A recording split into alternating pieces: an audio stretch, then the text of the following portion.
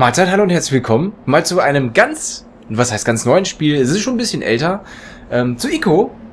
Und wir sehen uns jetzt gerade noch mal ein kleines Video an. Neben mir, ich bin nicht alleine, sitzt der Arthur. Guten Abend, ich bin Arthur. Ähm, Kamera machen wir gleich dazu. Ach so. Also, ne, es wird nicht langweilig. Ähm, ihr könnt euch äh, auch angucken, wie wir da so ein bisschen rumhampeln. Ähm, während hier dieses äh, wunderschöne Intro läuft von Ico, möchte ich noch ein bisschen was erzählen zu dem Spiel. Ähm, das Spiel kam ursprünglich 2001 heraus in äh, Japan ähm, von Team Ico äh, programmiert. Dann kam es äh, im Jahr 2002 schon auf die PlayStation 2 rüber. Vom Entwickler äh, Fumito Ueda. Dann gab es natürlich auch noch so ein paar neuere Varianten. Die eine, die wir jetzt hier spielen, das ist die, die äh, im September 2011 herauskam in der HD-Klassik-Reihe mit zusammen mit Shadow of the Colossus. Wer es kennt, Adu hat es auch schon gespielt. Yep. Also natürlich in der, in der, in der äh, neuesten Version, die es jetzt gab, sieht echt klasse aus. Auch hier auf meinem Channel, The Final RPG, auch äh, als Filmformat äh, erhältlich, hätte ich fast gesagt, zu sehen. Äh, kannst ja auch mal reinschauen. Sieht echt klasse aus. Wo war ich stehen geblieben? Genau, wir spielen jetzt hier die PlayStation 3 Variante aus dem Jahr 2011. Falls, es, äh, falls ihr es vielleicht wisst, äh, Ico ist der erste Teil einer, ich möchte es mal fast Trilogie sagen. Äh, Ico der erste Teil, danach kam The Shadow of the Colossus und äh, dann jetzt äh, vor kurzem, was heißt vor kurzem, ich weiß gar nicht aus welchem Jahr es ist, The Last Guardian, es kam auf jeden Fall für die PS4, also so alt kann es noch nicht sein. Drei Jahre Ähm, vielleicht. Keine Ahnung. Ich sag mal so eine verkappte Trilogie, weil es halt von denselben Entwickler ist, von dem Herren, ich habe es eben schon vorgelesen, ich habe schon wieder vergessen, Fumito Ueda. Hängen aber nicht, also. Also die, die Story hängt nicht zusammen. Es gibt ja. natürlich den ein oder anderen kleinen Hinweis Ja. auch, äh, der wie der Typ, der Ico, der hier rumrennt, ähm, den kleinen Hörnern und so, sieht man ja da schon. Bei Shadow of the Colossus gab es da auch so eine Szene mit, naja, ich möchte nicht zu viel vor, vorgreifen, schaut's euch selber an, äh, bildet Ja. euch eure eigene Meinung. Es gibt da auch wahrscheinlich sämtliche äh, Theorien und äh, Verschwörungstheorien. Die gibt's immer. Ja, ähm, ja, das Genre dieses Spiels ist ein Action-Adventure. Ähm, für mich ist eigentlich eher so ein, so ein Puzzle, Jump and Run, wenn man das so sagen kann. Und äh, ich finde ja, das, diese Genre-Sparte, natürlich Fantasy und die, äh, die da noch mitsteht, ist ein Einzel-Koop-Modus. Ich weiß gar nicht, dass, äh, dass das hier überhaupt funktioniert. Ich mache mal kurz einen Controller, bevor wir hier... Ähm, Ja, aber ist doch klar, man spielt zusammen mit sich selbst sozusagen. Genau. Ja, bevor wir hier uns das Intro nochmal anschauen, ähm, drücken wir schon mal auf neues Spiel. Ich möchte gerne noch die Story gleich ein wenig kürzer fassen oder zusammenfassen. Ähm, Worum es überhaupt geht in diesem Spiel. Man kann es irgendwie so, so ein bisschen erahnen. Aber ich würde sagen, wir schauen uns erstmal hier den, den Startbildschirm an. Beziehungsweise das äh, Anfangsvideo. Und dann gucken wir uns mal an, wo wir denn landen. Und dann kommt auch die Kamera mit dazu. Verstehst?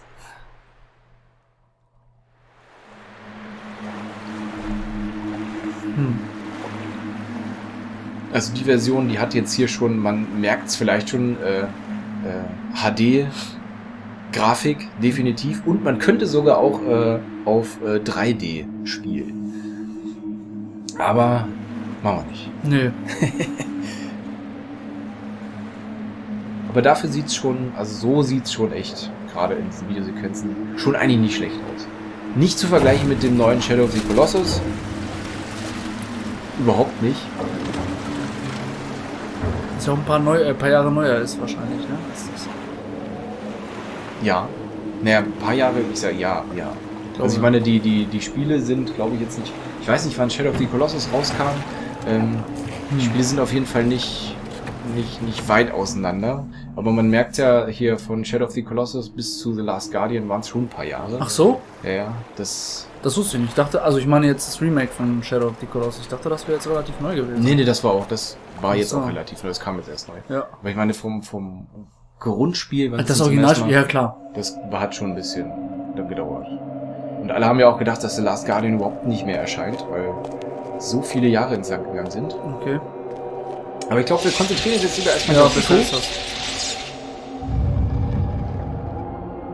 Wie gesagt, zu der Geschichte werde ich jetzt hier gleich mal was erzählen. Äh, man wird hier so ein bisschen reingeschmissen. Weiß gar nicht, was da überhaupt bloß ist. Hm. Irgend so ein Typ mit einem komischen Schwert. Und der Typ mit den Hörnern, der Ico heißt. So viel sei schon mal gesagt. Man wird so ein bisschen reingeworfen jetzt, ne? Ja, ich finde dieses Spiel, es lebt eigentlich auch von, ja, ich sag mal, von, von, von den eigenen Fantasien und Vorstellungen, äh, wie, was hier Ja. jetzt überhaupt los ist. Weil es wird einem nichts gesagt. ja. Eine Riesenkammer mit komischen Steinsarkophagen. Mhm. Wo der arme Junge. Ach so. Wird jetzt quasi in seine Zelle gebracht. Richtig. Hm. War das wieder so eine. War das auch wieder so eine Kryptosprache? Ja, es ist- bei es Shadow of the. Es ist eine Ah. Fantasiesprache. Okay. Wenn nicht sogar, glaube ich, auch die gleiche, ich weiß es nicht. Würde, würde mich nicht wundern. Man auch diese, diese, diese Behausung hier sieht gar nicht so großartig anders aus. Oder es gibt Ähnlichkeiten zu der äh, großen Halle in Shadow of the Colossus. Richtig. So ein bisschen, ja. Also wie gesagt, Bisschen, Parallelen ja. sind die halt Atmosphäre überall. ist, die Atmosphäre ist sehr ähnlich. Ja. Wenn man's, wenn man die anderen Teile gespielt hat, dann denkt man sich, "Hä, es kommt einem doch irgendwo Spanisch vor und die, die Vibration ausschalten sollen. Controller macht Mucken. Okay. Ja, da schließt sich der Eingang, Hm. Ausgang, wie auch immer. Und man weiß gar nicht, wie viel da schon sonst noch eingesperrt sind. Aber wir haben Glück. Tatsächlich. Und die einzige Zelle, die sich öffnet, nach diesem äh. Türschließmechanismus, ja, lässt unsere Zelle fallen und wir sind frei. Also ist das Spiel noch nicht vorbei. Nein. Was ich gedacht hätte. Nein, nein, nein. Wunderbar. Oh, eine, eine Sequenz, richtig? Genau. Ja. Merkt man an den Balken. Ja, allerdings, ja, das erinnert mich ein bisschen an Silent Hill. Wo auch so ein bisschen diese Balken und äh, Flimmertechnik in den Sequenzen des öfteren Mal eingesetzt wurde. Okay. PS2 halt, ne? Ja. Aber ich hätte jetzt gerne auch mal diesen, ich weiß nicht, ich habe den, das, das Spiel auf PS2 nicht gespielt. Ich auch nicht. Ich weiß jetzt auch nicht, wie, wie äh, jetzt so der Vergleich ist. Also für Aber mich, sieht- sieht für mich könnte das, ja, aber es ist jetzt für mich jetzt nicht ganz groß anders als PS2-Sequenz. Was passiert dort? Hm. Ein komisches Schattenwesen Hm. bereist die Welt. Oha, noch ein Schattenwesen. Lass mich in Ruhe. Wir wurden eingesogen. Okay. Sehr dubios.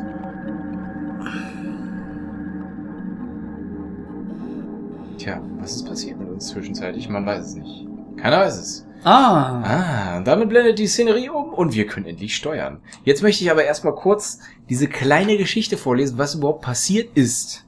Ne, also danke Wikipedia für diesen Eintrag.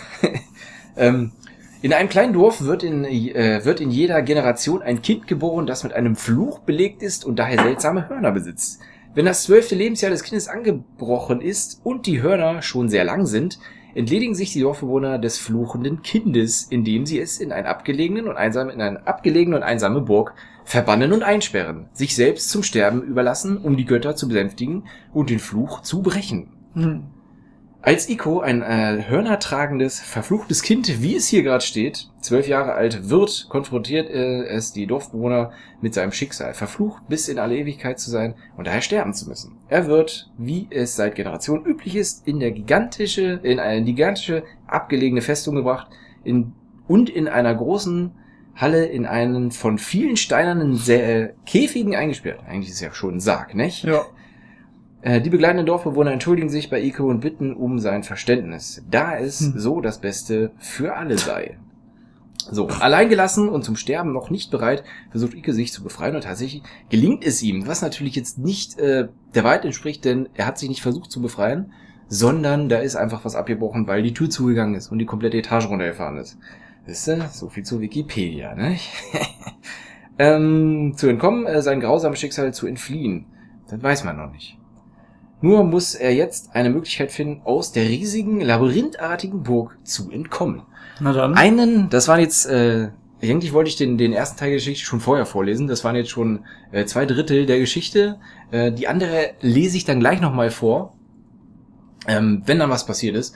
Ich würde sagen, wir sind hier erstmal, müssen erstmal, ich muss mich selber mit der Steuerung nochmal klar äh, werden. Du sagtest, das heißt, wir haben, ein bisschen- wir haben eine fixierte Kamera, die du Ja. mit dem linken Stick hin und her bewegen kannst, aber wenn du halt nach rechts rückst, ne, hier, zack, und gehst wieder zurück, fährt die Kamera wieder in die Ausgangsposition. Und Okay. apropos Kamera, Wo wir schon bei Kamera sind. wir haben uns ja ganz vergessen. Hallo! Hallo. Heute mal live und in Farbe. Ich glaube, das Fenster da oben ist, ja, groß genug, dass wir uns so ein bisschen beim blöden Mal Blödsinn machen hier rumgucken können. Ähm, stilles Wasser trinken wir natürlich auch, damit die Stille Stimme nicht, Wasserventil, nicht genau. äh, So äh, einfriert, hätte ich fast gesagt. Äh, Ja, dann. Schön, dass du da bist nochmal. Ja, natürlich. Immer Und, gerne. äh, ich freue mich auf Ico. Ich freue mich ebenfalls. Dann äh, leg mal los. Sagst du jetzt. Gut, also Ja. wie gesagt, äh, mit dem rechten Stick gucken wir uns die Kamera an, mit dem linken Stick bewegen wir uns. Ähm, die Schultertasten L1 und äh, L2 tun gerade noch nichts. Mit dem äh, rechten Schultertaste können wir, indem wir auch noch den rechten Stick dann nehmen, ein bisschen rumzoomen. Ja. Okay. Die R1-Taste hört man vielleicht gerade. Ist ein Rufen. Das sollte man Ach, das äh, eine nicht Katze, die vergessen. irgendwo draußen ist. Ja. Nein, es ist keine Katze. ähm, dann haben wir hier Okay. die Vierecktaste, die gerade noch nichts macht. Da kommen wir dann später zu. Die Dreiecktaste ist die Sprungtaste. Ja. Ja, einmal im Stand springt er dann hoch. Wie gesagt, die, die Taste ist ein bisschen, ein bisschen verzögert. Also man, da muss man so ein bisschen reinkommen. Wenn wir die Kreistaste drücken, dann sind wir so ein bisschen im, im G-Modus. Das war, ne, bei gefährlichen Stellen vielleicht einfach ein bisschen langsamer laufen sollten. Und ja, das war's eigentlich schon. X kann noch nix. X kann kann noch noch nix. Das ist gut, ja.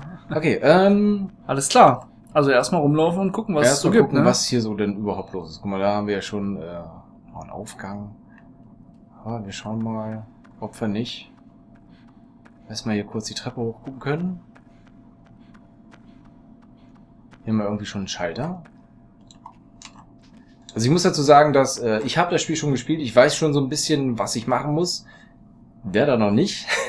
Nee, Aber ich werde natürlich auch irgendwie so ein bisschen Hilfestellung leisten, so ist nicht. das Ähm, hoffe ich. ich sage, die Steuerung ist ein bisschen frickelig. Ich muss da gerade selber nochmal mit klarkommen. Äh, Ah, ah, ja. okay. Mit Kreis interagieren wir auch mit Gegenständen. Okay. Ne? Das muss man halt auch erstmal wissen. Man, also ne, Kreis, rumrennen und halt interagieren. Irgendwo ist jetzt was aufgegangen, eine Tür, nicht? Hm. Das ist richtig gesehen, die ist da unten, glaube ich. Man mag es fast so sehen. Das sieht zumindest ganz danach aus. Aber ob's die war, ja, die war's. Die war's, die war eben noch zu. Wie gesagt, die Kamera ist manchmal ein bisschen im Weg. Aber das soll, glaube ich, dem Ganzen äh, nichts abtun. So, dann haben wir hier, sehen wir eine Kette, die irgendwie bis oben hingeht. Schauen wir mal, ob wir da irgendwie erstmal hochkommen. Ähm, Dreieck mal springen. Ich muss selber erstmal, ne, wieder Ja, das reinfinden. dauert ein bisschen, aber. So, man kann auch, äh, um das eben nochmal kurz jetzt zu zeigen, äh, mit den Ketten schwingen. Ich muss aber selber nochmal gerade gucken, wie das ging. Genau, Kreis drücken. Wow. Ähm, genau, und dann halt mit dem linken Stick, glaube ich, noch nicht. Okay. Oder macht er das von alleine? Also er schwingt, glaube ich, schon so ein bisschen von alleine. Ich soll nur mal testen. Das heißt, das wird man dann wahrscheinlich irgendwann im Spiel auch noch Ja, brauchen. mal, ja. Schwingt auf jeden Fall von alleine. Man kann es mit den Stick Okay. ein bisschen verlängern, weiß ich nicht. Also so ungefähr mit der Kette ist jetzt, die ist jetzt gerade nicht prädestiniert dafür, dass man hier jetzt so ein bisschen rumschwingt. Da gab's auch das Spiel, wo man eben auch im Kippich war und schwingen musste. War das Final 9? Nee. Nee, das war tatsächlich, Final, ich weiß es nicht mehr. Final 8? So, und das hier ist wieder auch noch, da Ja. musst du auch drauf achten, ähm, wenn du halt an der Kette bist, musst du dem Rücken zu dem, wo du hinspringen willst, dann halt Dreieck drücken. Dann landet er auch wirklich da. Okay. Ansonsten fällt er irgendwo runter. Äh, mit Objekten kann man natürlich auch interagieren hier. So ein paar Pötten. Die könnte man, glaube ich, auch schmeißen. Ja. Dann so Aber da muss es halt da laufen für, ne? Mit Kreis interagieren, laufen und ja. Ah ja. Ob hier was drin ist, weiß ich jetzt ehrlich gesagt auch nicht. Aber ich glaube, warum sollte da auch was drin sein? Bäh, so, da gucken wir jetzt gar nicht nach. Da war bestimmt was Tolles drin. Ähm, okay, das war jetzt also quasi nur so als Demonstration. Genau. Kann man hier hoch? Kann man hier raus? Bin ich jetzt gestorben? ich weiß es nicht. Nö, nee, irgendwie noch nicht. Ist ein bisschen dunkel, nicht? Hm. Vielleicht könnte man eben noch mal ganz kurz in den Optionen einfach mal es ein wenig heller machen. Zumindest für uns, dass wir auch was sehen auf dem Bildschirm, weil... So, ich glaube, das muss reichen. Zurück, zurück. Oh ja. Das sieht ein bisschen besser aus. Deutlich. Ähm, falls ihr das dann selber spielt, am besten ist es natürlich zu Hause, dunkles Zimmer, großer Fernseher, gute Anlage, dann ja, macht das auch richtig Spaß. Weil es halt äh, atmosphärisch echt auch ganz gut ist. So, guck mal, hier ist eine Leiter, da wollen wir mal hoch. La la la la la la la. Und dann schauen wir mal.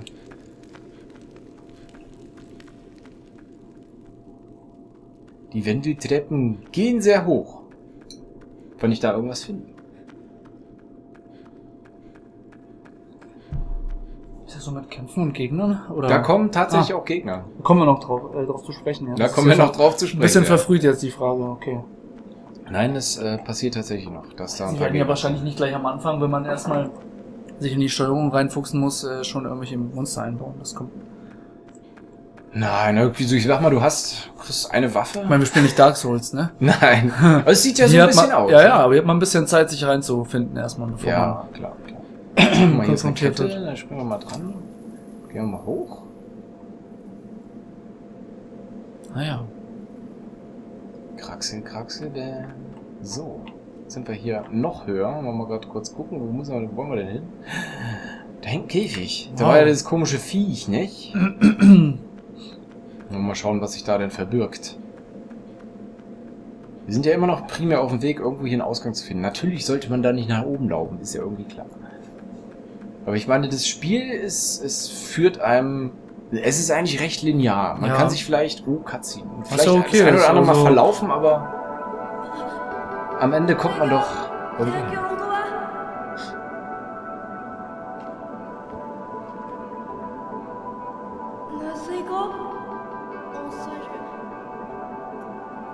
Ein Mädchen.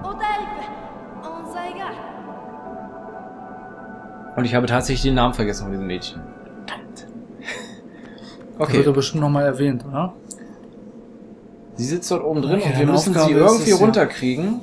Ja. Ähm, wir müssen sie dort irgendwie, da geht eine Riesenkette, mhm.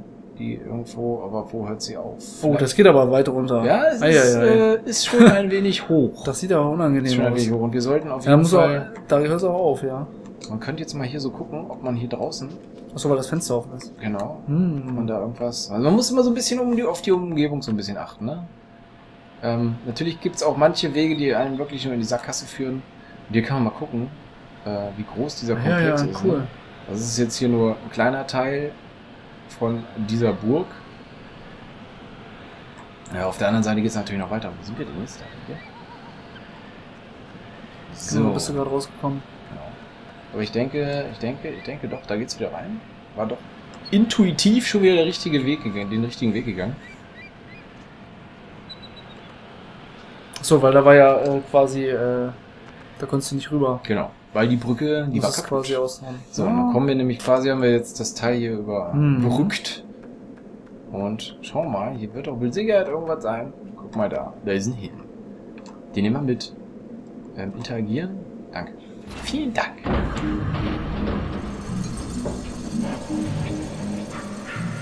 Hm, ganz schöne Spikes, dieser Gegner. Ja, allerdings. Hm. Das war übrigens Final Fantasy Tja. 12. Captain Bush, der in so einem Käfig hing. Und es war, glaube ich, der bei Final 10 2, da hing die auch, glaube ich, in so einem Käfig. Ich bin mir nicht sicher. Ich weiß, dass man in irgendeinem Spiel schwingen musste. Ganz viel schwingen. Schwingen. Hin und her schwingen. Ach ja, das war bei Final. Mein Gott. Ja, genau. Kennst du den Teil nicht? Final, mein Gott? Schreib's in die Kommentare, wenn ihr es wisst. Ich weiß es selber. Ich würde selber in die Kommentare schreiben, wenn ich könnte. Mann, wo war denn das? Dieses Geschwinge. Naja, war das bei Final 9? Ja, ich glaube. mit Steiner, ich habe irgendwie in Erinnerung, dass du mit Steiner. Du wirst gefangen genommen und musst schwingen. Ich glaube, das war mit Steiner in so einem Käfig. Tja. Es ist ein großer Mischmasch im Kopf. Man kann es nicht mehr. ja, man kann es leider nicht. nicht mehr das ist ja das Problem bei. Ich habe ja auch letztens gesehen, dass diese ganze Tales-Saga, ne, die ist ja auch schon ganz schön lang. Ne? Ich glaube, da hast riesig, du dasselbe Problem, riesig. Ähm, dass du riesig auch viele Sachen vermischt. Aber ich bin der Meinung, dass die ganzen Tales-Sachen, die sind ziemlich neu. Also die haben, die haben jetzt nicht so eine lange Ära wie Final Fantasy. Final Fantasy hat ja 1986 begonnen. Ja, ich glaube, so alt ist Tales. Und nicht. Äh, Tales. Also ich weiß, dass es da auch für Super Nintendo ein Spiel gab, aber mit Sicherheit nicht so alt wie Final. Ich vermute mal, das ist aus dem vielleicht Anfang 90er, das erste. Mitte 90er. Tales, ja? Ja. Echt?